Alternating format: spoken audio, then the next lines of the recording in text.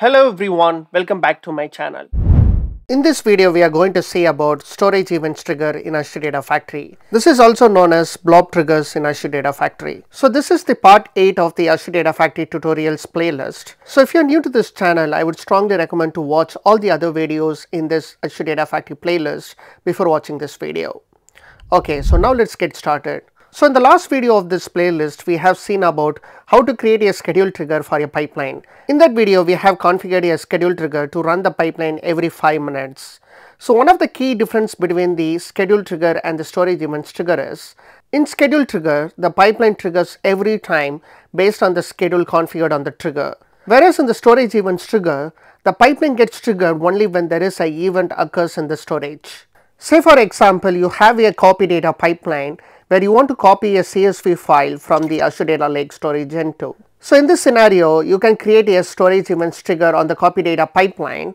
So whenever there is a CSV file that has been uploaded into the Azure Data Lake Storage Gen2, it will instantly trigger the copy data pipeline to copy the newly uploaded CSV file from source to the destination. So this is called storage events trigger in Azure Data Factory. So the trigger of this pipeline will occur automatically as soon as the CSV file has been uploaded to the Azure Data Lake Storage Gen 2.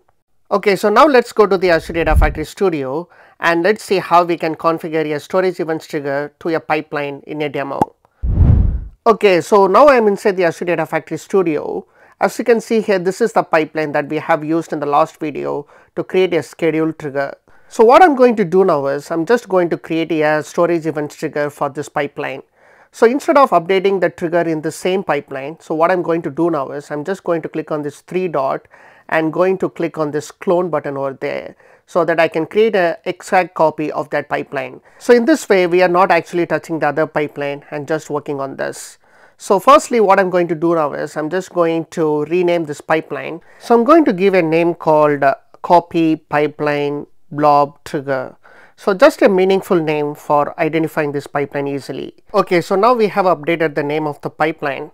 So now what we can do is let's configure the trigger for this pipeline. So for that I'm just going to click on this add trigger button over there. So once you click on that you'll be finding an option called new slash edit and uh, if you click on that you will be seeing something called choose trigger. As you can see here we have already created a schedule trigger but we want to create a new trigger for this storage events trigger. So for that i'm just going to click on this new button. And once you click on that you'll be finding an option to create a new trigger. So firstly let us give the name for the trigger as blob underscore trigger. And after giving the name we have to fill in the description which is optional. So i'm just going to skip it. So after that we have a drop down to select the type of the trigger so we have already created the schedule trigger. So this time we need to choose the storage events trigger. So after choosing the trigger type, now we need to select the storage account that we are going to use in this trigger. So we already have two storage accounts. So one is the source data lake and the other one is the destination data lake.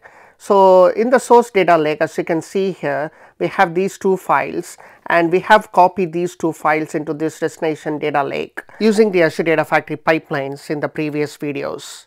So now what we are going to do is we need to specify this source data lake into the storage events trigger. So what I'm going to do now is I'm just going to select the Azure subscription first over here and after selecting the subscription we need to choose the storage account name. So this time we are going to choose the source Mr. K data lake.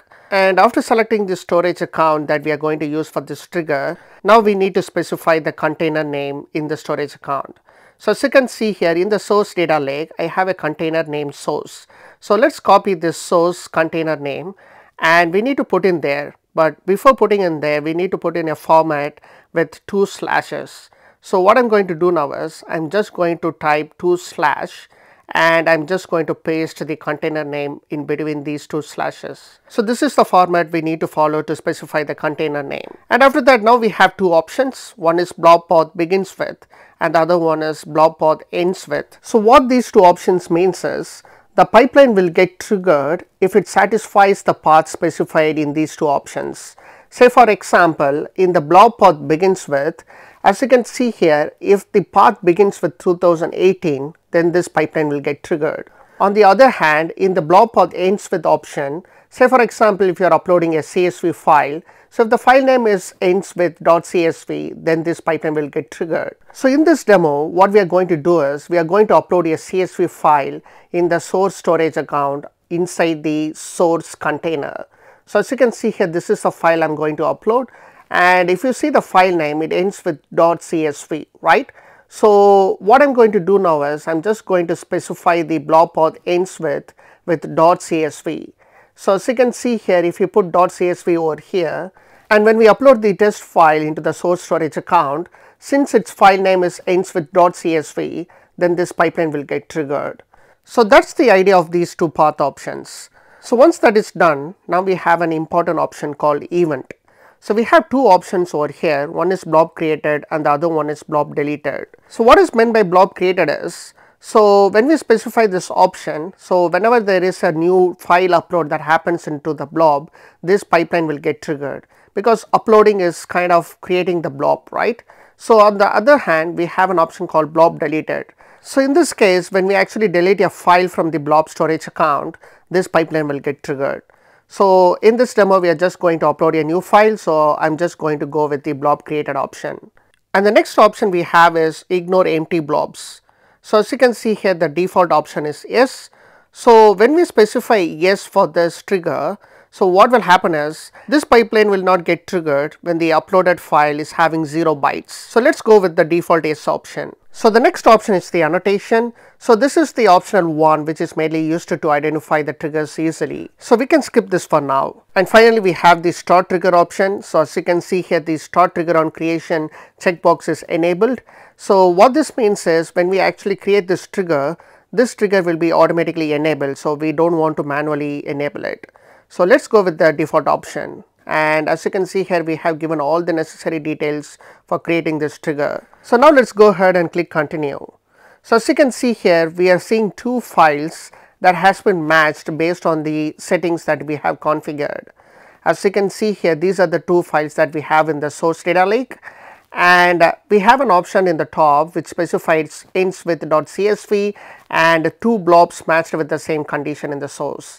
So as discussed before to test this storage event trigger we are going to upload a CSV file with a file name that ends with .csv. So based on the results that we are seeing here we have configured the triggers correctly for our testing. Now let's go ahead and click on continue and click on OK over here. So now we have successfully created the blob trigger for this pipeline. So let's publish the changes now. So I'm just going to click on this publish all button and hit publish here. So as you can see here the publish has been completed. So what we are going to do now is we need to do one additional changes to this pipeline. So if you remember something in the beginning of this video, we cloned this pipeline from the copy from scratch pipeline, right? So for example, if I go to this copy data activity and if I go to the source and open the data set, and in the data set as you can see here in the file path we have explicitly given the file name called schedule trigger.csv. So in the last video when we actually created the schedule trigger for this pipeline we just explicitly defined the file name in the file path to copy the files. So if I just go to the source data lake as you can see here we copied just this file which is the schedule trigger.csv from the source to the destination as part of our testing but we don't want to do the same for this blob trigger. So what I mean by that is we are just going to upload a file called test blob trigger.csv and test the pipelines, right? But we don't want to specifically give the same name in the file path. Instead, we need to dynamically get the file name and passed as a parameter over here. By doing in this way, any file that is uploaded into the blob storage account with a file name that ends with .csv will be copied from source to the destination by the pipeline. So for that what I am going to do now is I am just going to remove the file name from the file path and after removing the file name over here I need to get the file name from the trigger and pass as a parameter inside this file name option. So let's see how we can do that. So for that what I am going to do now is I am just going to the pipeline and firstly I am going to create a parameter. So if I click on this white space over here you will be seeing something called parameters in the bottom. We need to create a new parameters over here. So for that what I am going to do now is I am just going to click on this new button over there. So after clicking this new button you can give the name of the parameter. So I am going to give a name called file underscore name. So now we have created the parameter. So this parameter is going to get the value from the trigger. So what I mean by that is for example if I click on this trigger and click on this new slash edit inside that you can see the blob triggers that we have created recently. So as you can see here in the right side we have an option called parameters. So I'm just going to click on this edit parameters option.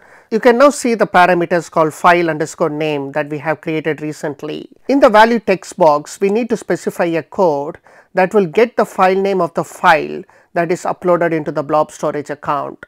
Let me directly paste the code in here. So as you can see here the code is at trigger dot file name. So this is the inbuilt code of the Azure Data Factory expression which will retrieve the file name of the file that triggers this pipeline. So what will happen now is when we actually upload a file into the blob storage account, it will trigger this pipeline, right?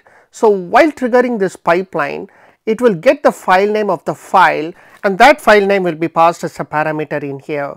So let's click on this OK button now. So now what we have done so far is we have created a pipeline parameters called file underscore name and this parameter is going to get the file name from the trigger.